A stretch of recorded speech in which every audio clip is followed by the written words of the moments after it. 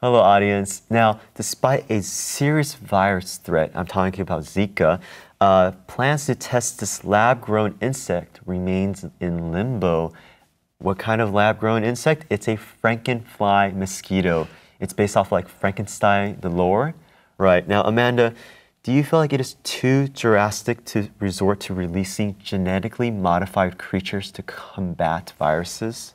I don't think so, but then again, I still would need to research a little bit more about the background of mm-hmm. it. Uh, but I do understand the concerns that are mentioned in the article. Right, the article talks about how scientists are modifying these mosquitoes so when they're released into the wild, they're not able to reproduce with other mosquitoes. Basically, right. they create a sterile version of the mosquitoes. Right. Now, the research says that there is supposed to be no repercussions, but in your opinion, do you feel like it is still a safe thing to do, or you feel like you have to do more research?